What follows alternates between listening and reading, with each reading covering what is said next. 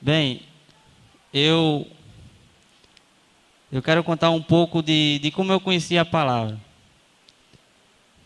Eu vivia em um mundo que não tinha um caminho certo. Eu vivia em um mundo que a minha família estava se perdendo. E através de uns jovens que foram lá em Jardim, meu primo conheceu a palavra. E eu sempre gostei de ouvir de Deus, mas tinha vergonha de ir para uma igreja, de participar de, de alguma igreja. Mas depois de tanto meu primo insistir e me convidar para ir para a igreja, e convidar para ir para a missão lá que teve, eu aceitei. Mas nesse dia choveu, não deu para eu ir.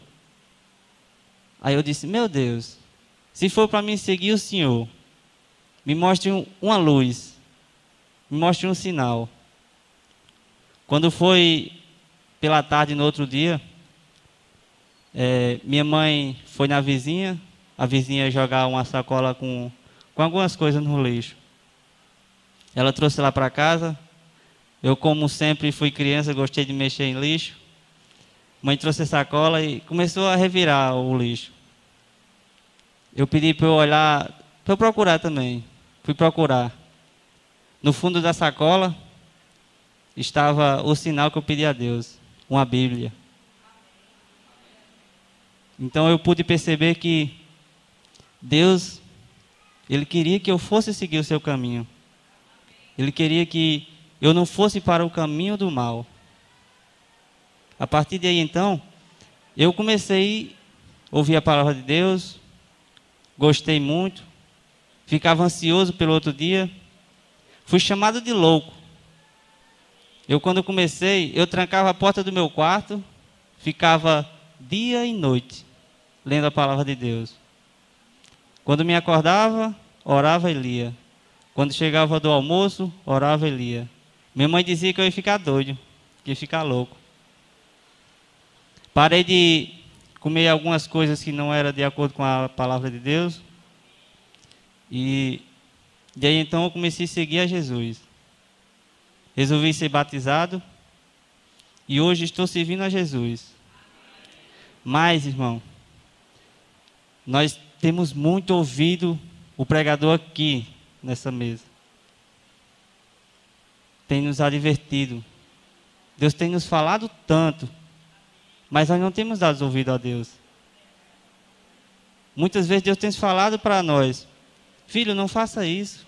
Manda um pregador vir, mas muitas vezes nós não damos ouvido. Ficamos só ouvindo e brincando. Então eu de noite eu me perguntei a Deus, eu disse, Pai, eu quero pregar. Agora eu não sei o que é que eu vou dizer. Porque nós temos respeitado o Senhor, eu não sei como é grande o amor do Senhor, do meu Deus. E ele me disse assim, lá no livro de Jeremias 21, capítulo 21, versículo 8. Eu fiquei impressionado quando ele me disse isso.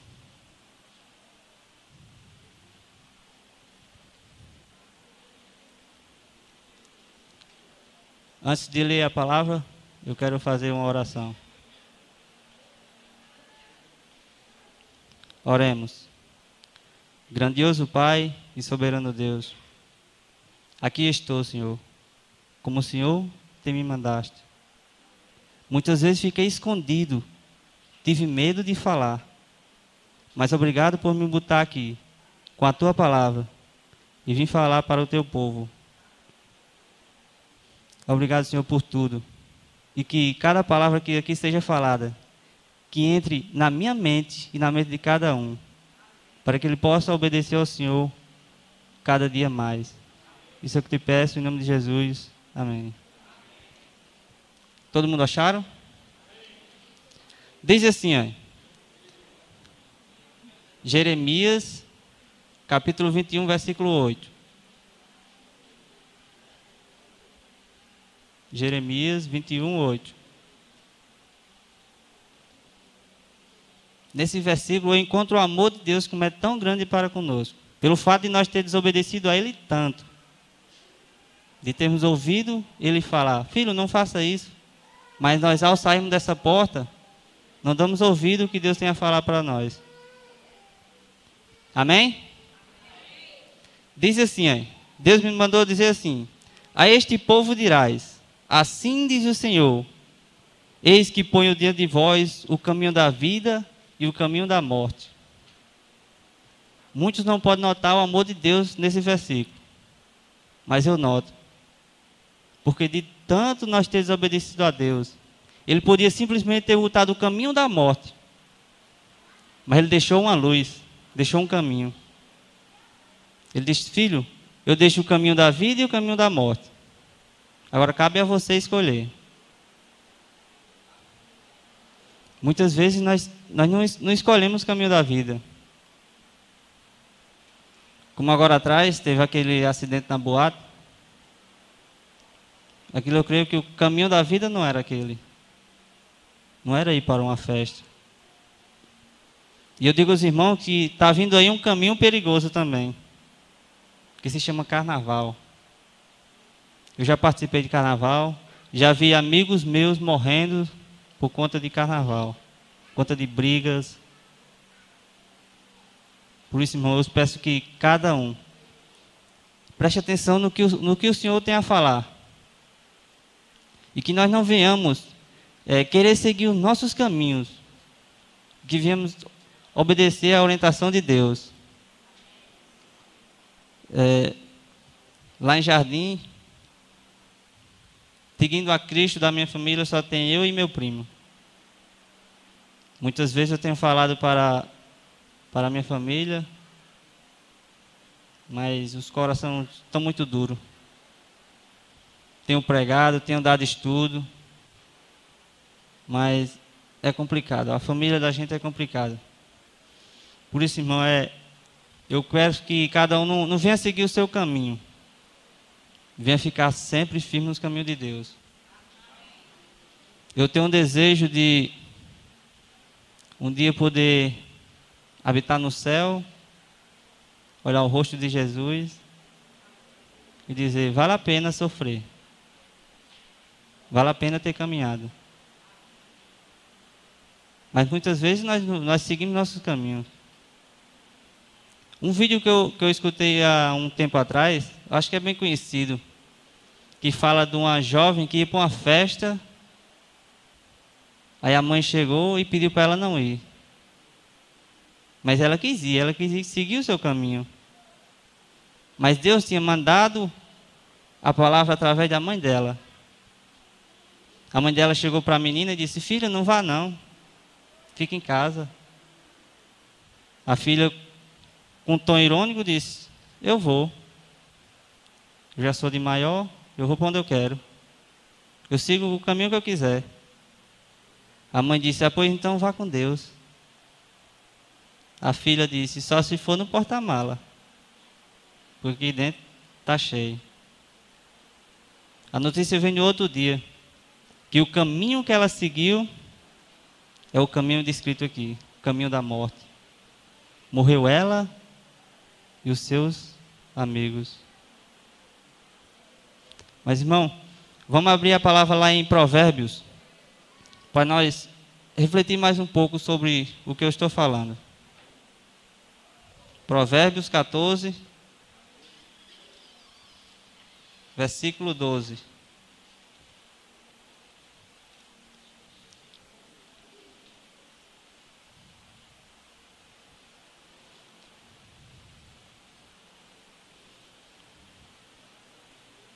Amém? Provérbios 14, versículo 12.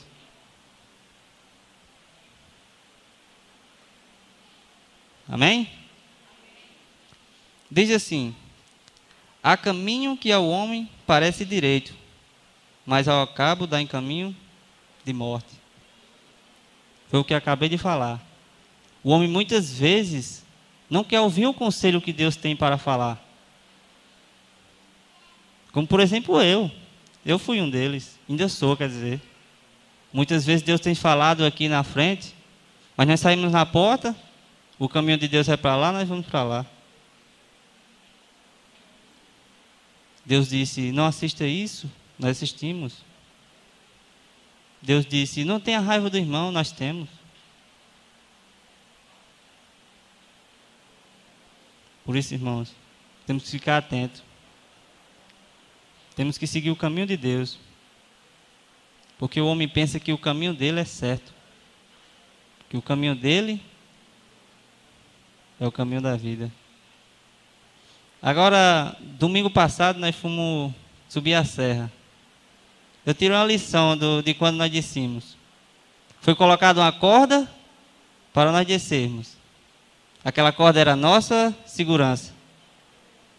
Mas eu, eu, decidi ir pelo um canto que não era seguro. Se achando. Dizendo, não, ali eu desço, que eu sei descer. Deixei de ir pela corda. Mas para a honra de Deus, ele estava lá conosco, não aconteceu nada de errado. Mas se tivesse acontecido, Deus muitas vezes ele bota um pontinho para que nós percebemos qual é o caminho certo. Para que nós protegemos, nos proteja dos caminhos. Aquela corda nos segurava, nos protegia e nos descia seguro. Mas nós optamos ir pelo nosso caminho. Mas é, eu sou grato a Deus por não ter acontecido nada. Apesar de nós ter desobedecido a Deus, como sempre. Sempre mesmo. É, e eu fiquei triste porque teve um tempo atrás que nosso clube era fervoroso. Eu sou há pouco tempo, mas depois daquele acampamento, nós ficamos. Estava muito fervoroso o clube. Mas sem julgar ninguém aqui, aconteceu que muitos saíram no clube. Estavam um pouco caídos, mas para a honra e glória de Deus, o clube está se erguendo. E, irmão, eu peço que nós venhamos ser amáveis, ter amor um pelos outros. Vamos abrir lá em, em Provérbios 16, 29. Ele fala mais um pouco do, a respeito sobre isso.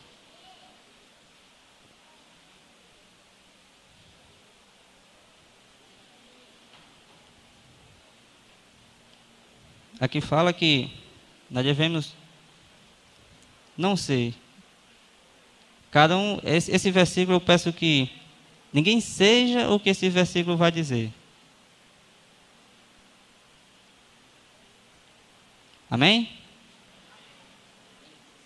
Diz assim, 16, 29. Capítulo 16, versículo 29.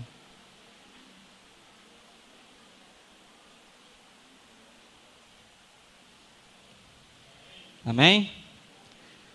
Diz assim: O homem violento alicia o seu caminho e guia alicia o seu, o seu companheiro e guia por um caminho que não é bom. Muitas vezes nós temos tirado nossos irmãos do caminho que é certo, do caminho que é a vida eterna. Muitas vezes nosso irmão está tão fervoroso na igreja mas nós chegamos com uma coisa mundana para tirar ele dos caminhos de Deus. No acampamento que teve lá em Coronel Ezequiel, teve um. Foi meu primo. Meu primo sempre foi fervoroso. Eu sempre gosto de citar ele na onde eu ando, porque foi através dele que eu conheci a palavra de Deus. Lá em Coronel Ezequiel, foi. Teve muita gente que não estava seguindo Deus.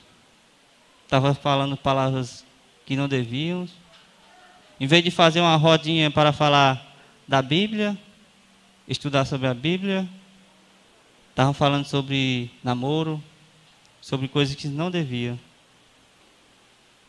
Mas o meu primo chegou de mansinho com a Bíblia, como sempre ele gosta de andar. e mostrou um versículo na Bíblia que diz: As más conversações corrompem os bons costumes. E ele ficou falando para nós, mas nós não demos ouvido. Muitas vezes nós não damos ouvidos mesmo.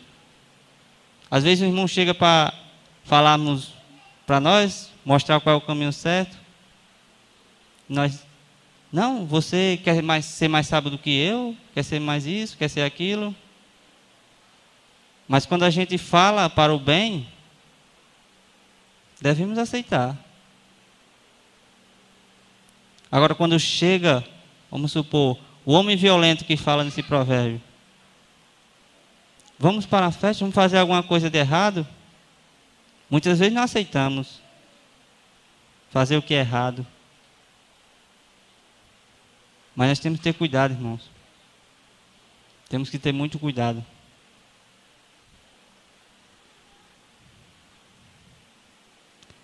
Eu eu queria muito que que esse homem violento que não deixa a minha mãe entrar, que não deixa a minha mãe vir para a igreja, Deus afastasse ele deles. Porque e não vê cada um de vocês.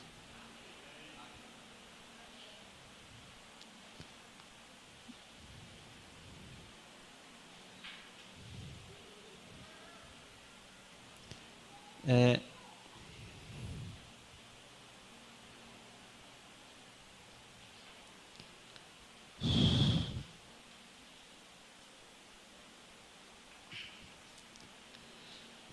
Vamos, vamos ter amor, irmão. Vamos ser uns verdadeiros filhos de Deus. De que adianta chegar aqui, orar, pedir as bênçãos de Deus, agradecer a Deus também por tudo. E quando Ele nos dá, nós desobedecemos a Ele. Mas Deus também deixou uma coisa escrita lá em Mateus para nós. Mateus 7,13. Esse versículo eu fico triste com o final desse versículo. Com o finalzinho desse versículo. Porque o que ele fala é o que está acontecendo. O que ele mostra aqui é o que realmente está acontecendo. Não só com os de fora, mas com a nossa igreja, com a igreja de Deus. Eu cansei de ficar escondido em casa. Cansei de usar uma máscara. Cansei de ter medo de vir falar aqui na frente. Eu sei que muitos de vocês têm um desejo de pregar.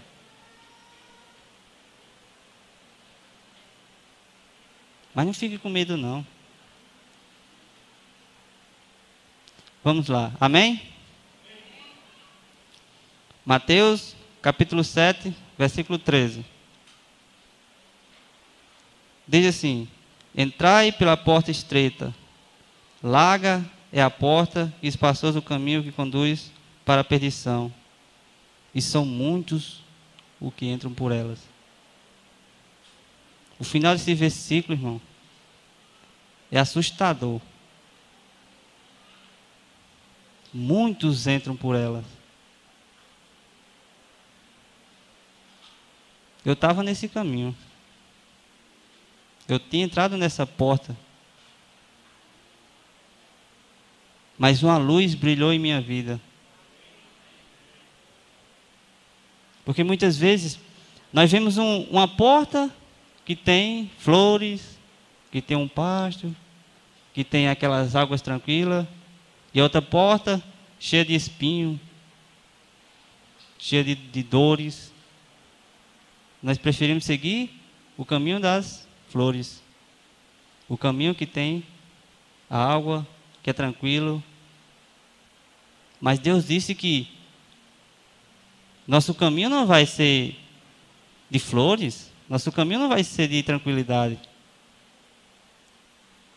A porta que nos conduz nesse caminho para a vida é a porta que tem os espinhos. É a porta que tem as dores. Por isso, irmão, vamos ficar muito atentos. Porque assim como lá na história de na história do Egito, quando mataram as crianças, foi marcado com o sangue do cordeiro em cima da porta. Se você tem dificuldade de encontrar essa porta, olhe para cima dela que você vai ver o sangue de Cristo derramado nela. Aí você pode entrar por essa porta. Pode seguir em frente.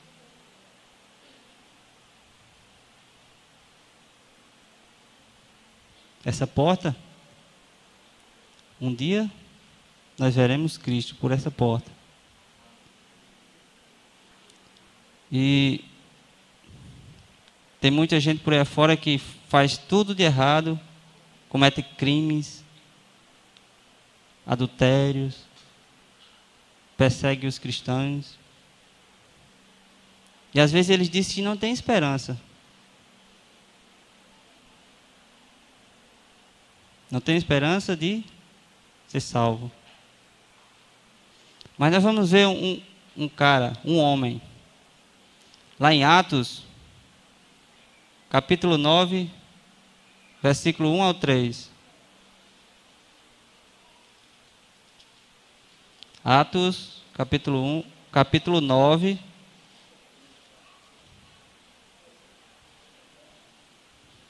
Esse homem, ele vivia no erro. Vivia fazendo tudo de errado. Vivia perseguindo Jesus, matando os cristãos mas ele encontrou uma luz no seu caminho. O caminho que ele andava era o caminho da morte. Mas se um dia nós formos por esse caminho, vamos pôr nossos joelhos no chão, que a luz ela aparecerá. Diz assim, é, esse homem é Saulo, diz assim, é, Saulo, respirando ainda, ameaçava ameaçava em morte contra os discípulos do Senhor. Dirigiu-se ao sumo sacerdote e lhe pediu cartas para Damasco, a fim de que, caso achasse algum, algum que eram do caminho, assim homens como mulheres, os levasse preso para Jerusalém. Seguindo ele estrada fora, aproxim, aproxima ao aproximar-se de Damasco, Subitamente uma luz do céu brilhou ao seu redor. Só até aí tá bom, irmão. Essa luz, sabe quem era essa luz? Essa luz era Jesus. Dizendo, filho, esse caminho é errado. Esse caminho vai te conduzir à perdição. Mas eu tenho um caminho melhor para você. Siga-me que você herdará uma vida melhor. Você terá sabedoria, falará a muitos e converterá muitos. E Paulo seguiu. E hoje, tem muita gente aí fora que ainda não encontrou esse caminho. E talvez nós não sabemos qual é esse caminho. Onde nós podemos encontrar esse caminho? Ou quem é esse caminho? Eu quero encerrar a pregação com esse versículo, mostrando quem é esse caminho. Esse caminho está lá em João, capítulo 14, versículo 6. Aqui, irmão, tem o caminho para a vida o caminho para a vida eterna. João 14, versículo 16.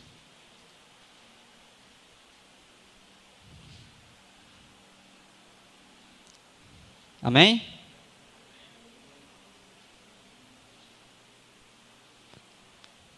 João capítulo, perdão, irmão. João capítulo 14, versículo 6. Diz assim: Respondeu-lhe Jesus: Eu sou o caminho, a verdade e a vida. Ninguém vem ao Pai senão por mim. Então, irmão, o caminho para a vida é Jesus. Basta eu seguir. Agora cabe a mim e a você querer seguir Jesus fielmente.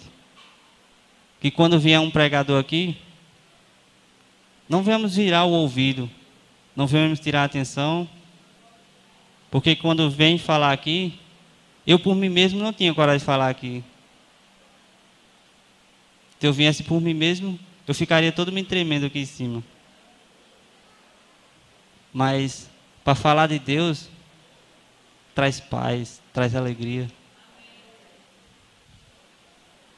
Irmão, eu, eu quero fazer um, um apelo. Eu quero fazer um apelo que esse caminho que, que eu acabei de mostrar a vocês, eu quase que ia entrando num caminho que não era esse. Eu quase que entrando no caminho da morte.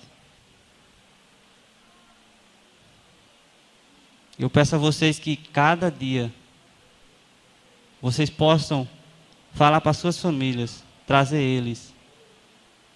Porque é duro você falar de Deus para sua família e eles não ouvirem.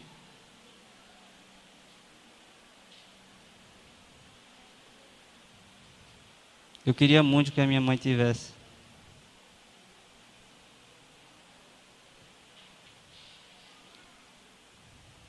Ela é sofredora, mas eu queria que ela seguisse a Cristo. Não só ela, mas a minha família toda.